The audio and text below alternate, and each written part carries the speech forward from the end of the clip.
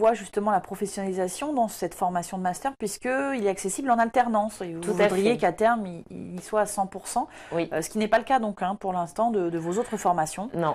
Donc le master, lui, euh, propose Oui. l'alternance. Le master, on l'a vraiment euh, construit, en fait, aménagé pour qu'il soit vraiment euh, adapté à l'alternance.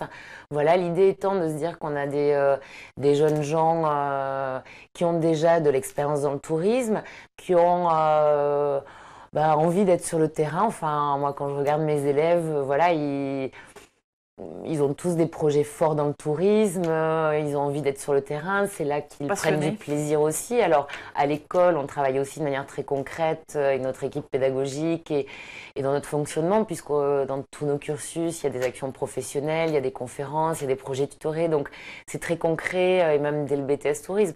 Ceci dit, voilà, je trouve qu'en master, euh, il mérite en fait, euh, voilà, vraiment de pouvoir appliquer euh, au quotidien en entreprise.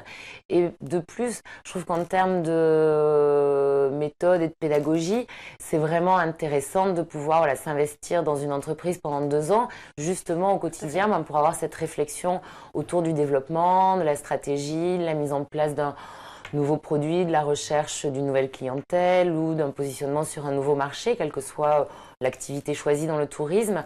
Donc, c'est un cursus qui est vraiment dans son organisation dédié à l'alternance, c'est-à-dire que pendant les périodes à l'école, la moitié de la semaine, ils sont libres pour ils sont libres pardon, pour pouvoir être en entreprise. Donc aujourd'hui, sur la troisième rentrée, troisième promotion, Mhm. on en a la moitié qui sont en alternance. Pour ceux qui ne sont pas alternance, l'objectif est qu'ils puissent également faire des stages alternés, voilà, pour garder euh, vraiment le pied euh, voilà, dans l'entreprise.